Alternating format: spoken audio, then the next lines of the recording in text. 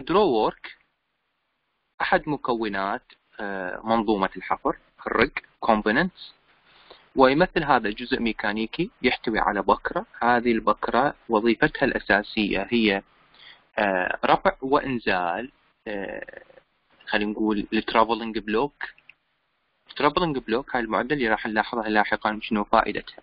فال draw works عبارة عن بكرة مثل ما نلاحظ بالصورة تلتف عليها سلك. يسمى drill line خيط الحفر. ومهمتها رفع وإنزال آه، معدة ال traveling block أو الجزء ال block المتحرك. ال kelly hose آه، kelly hose هو خلينا نقول pipe hose يعني مثل كلمة هي يعني مثل خلينا نقول pipe أو سوندا. مرنة flexible steel reinforced يعني مصنوعة من ال steel وتتحمل الضغوط العالية. هذا شنو وظيفتها؟ تربط ال stand pipe إلى ال kelly. تربط ال stand pipe اللي آه، موجودة ببرج الحفر إلى بالأنبوب المضلع بالأنبوب الناقل للحركة. الأنبوب المضلع هو الكلي. ينقل الحركة من المنضدة الدوارة إلى خيط الحفر وبالتالي إلى البت. And allow free vertical movement of the gooseneck on the swivel above the cliff while facilitating the flow of drilling fluid through the system and down drill string نفس المرة الأخرى الفائدة الأخرى هذا آه، يسمح لي بحرية الحركة لل gooseneck ال gooseneck عبارة عن توصيلة آه، تجي من ال mud tank خلينا نقول وتجيب لي سائل الحفر تخليه ينزل داخل ال drill string داخل خيط الحفر. يعني هدفها هذه المعدة kelly hose هدفها ترتيب الآلية لنقل سائل الحفر أثناء عملية الحفر وكذلك تسهيل عملية الدوران لمنظومة الحفر. يعني اثنين يعني تسمح بالاثنين. أيضا نقل السائل وأيضا تسمح مرة أخرى بالروتيتنج آه، أو دوران آه، منظومة الحفر. الجوزنك آه، الجوزنك مثل ما تلاحظ هاي عبارة عن معدة تكون بهذا الشكل. هدفها المساهمة في عملية تدوير سائل الحفر ضمن منظومة التدوير. قلنا منظومة التدوير هي عملية نقل سائل الحفر من خزانات ال mud إلى داخل البئر. عبر ال drill string هاي كلها التوصيلات ال kelly hose وال gooseneck هذا هدفها. إيصال سائل الحفر إلى داخل منظومة الحفر. وكذلك أيضا توفير حرية بالتدوير لمنظومة الحفر ابتداء من الكلي والدريل سترينج والبت الترابلنج بلوك تلاحظ في الصورة اللي أمامك traveling block محددي وينه. طبعا ال traveling block يحتوي على عدد من البكرات اللي يعني يلف عليه ال drill line خيط الحفر. و آه، خيط الحفر مرة أخرى من traveling block يروح على ال crown block يعني بكرات أخرى تكون ثابتة. traveling block من اسمه بكرات متحركة. تفيدني بإنزال وإخراج المعدات آه، إلى داخل وخارج البئر. ال traveling block مرتبطة ب block آخر ثابت أعلى من عنده الاثنين الجزئين يمر عليهم خيط الحفر الجزئين هذا يمر عليهم خيط الحفر ال drill line بحيث يسهل لي عملية رفع وإنزال المعدات إلى داخل البئر خلينا نقرأ A traveling block is a freely moving section of a block and tackle that contains set of pulleys or sheaves through which drill line is threaded and moves under the crown block the stationary section إذا عندي crown block اللي هو الجزء الثابت و traveling block اللي هو الجزء المتحرك. هذين الاثنين يمر عليهن يرتبط بهن خيط الحفر. للمساعدة في عملية إنزال وإخراج المعدات من داخل البئر. طبعا بال traveling block بعدين يرتبط ب فشي يسمى الخطاف ال hook. ال hook الخطاف. هذا كلها المعدات تساهم بإنزال آه، إخراج المعدات من داخل البئر. المنظومة الأخرى اللي هي حكينا عليها ال kelly hose وال swivel وال gooseneck ذني كلهن يساهمن بإمرار سائل الحفر وبنفس الوقت تسهيل عملية التدوير لمنظومة الحفر. crown block ال crown block إذا تلاحظ هو الجزء الثابت من هو الجزء الثابت من ال block اللي حكينا عنه. أسفل من عند هذا هو الجزء الثابت يمر به خيط الحفر وأسفل من عند ال travelling block اللي حكينا عليه قبل شوي. ال crown block هو الجزء الثابت من ال block. أيضا يحتوي على عدد من خلينا نقول البكرات ويمر عليه خيط الحفر. يعني خيط الحفر ينطلق من البكرة مالته. خلينا نشوف خيط الحفر إيش قد كان رقمه؟ سبعة. خلينا نرجع للشكل مالتنا الأصلي المخطط. لاحظ سبعة وين؟ هنا هذه سبعة. لاحظ هذه هذه سبعة. بكرة ملتف عليها خيط هذا الخيط يصعد يمر على ال crown block هذا الجزء الثابت وينزل على ال travelling block هذا الجزء المتحرك. هذا. خلونا نجي على ال kelly hose تسعة. وال gooseneck عشرة. لاحظ هذه تسعة. هذا الكلي هوز وهذا الجوزنيك. هذا تلاحظ مرتبط بالمات تانك اللي رقمها واحد.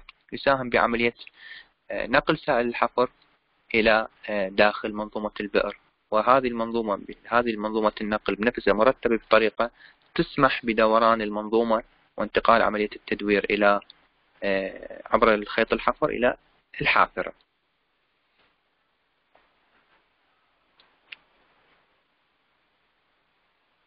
الدرك أو السارية هو هذا الجزء بس البرج هذا اللي أمامنا السارية من اسمها A tower used for lifting and positioning the drill string and piping above well bore and containing machinery for turning the drill bit around in the hole هذا السارية كلها تحتوي المعدات كلها مالتي ال drill pipe المعدات الأخرى ال travelling block crown block hook كلها هاي موجودة ضمن السارية. شو تسهل لي؟ أه تسهل لي عملية الإنزال المعدات داخل البئر وكذلك إخراجها. تساهم تساهم لي أيضا بترتيب المعدات داخل هذه المنظومة. أه أيضا ضمن هاي المنظومة توفر لي أو تساعد بتوفير أو ضمن شروط توفير عملية التدوير للحافرة إلى أن تقوم بأداء واجبها في عملية الحفر. The swivel, swivel is a connection that allows connected object to rotate horizontally and vertically.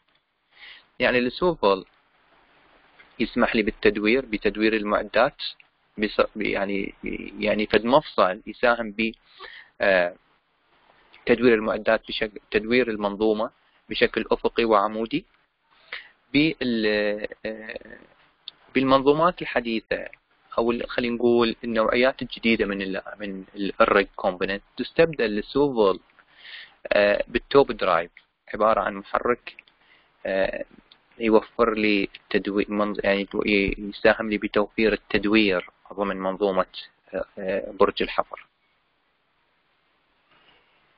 ال rotary table أو المنضد الدوارة آه، المنضد الدوارة توفر لي التدوير آه، بالأساس يعني هي نقطة التدوير لخيط الحفر وال bit. التدوير يتم عبر انبوب يسمى الانبوب المضلع أو ال kelly. drill pipe. ال drill pipe آه، أنت من تحفر بئر مع الوقت شو يصير بالعمق؟ يزيد. يعني مع الوقت يزيد العمق. فايش تحتاج؟ في كل مرة تربط آه، توصيلات حتى توصلك للعمق المطلوب. يعني من يزيد العمق إيش يحتاج؟ خيط الحفر يحتاج يزيد طوله. شلون يزيد طوله؟ يربطون ب drill pipe. فهي كل مرة أنت تربط بي drill pipe تربط بي تربط بي إلى أن توصل إلى نهاية العمق المطلوب. فال drill pipe هو زي يعني عبارة عن توصيلات لها طول محدد standard عالميا.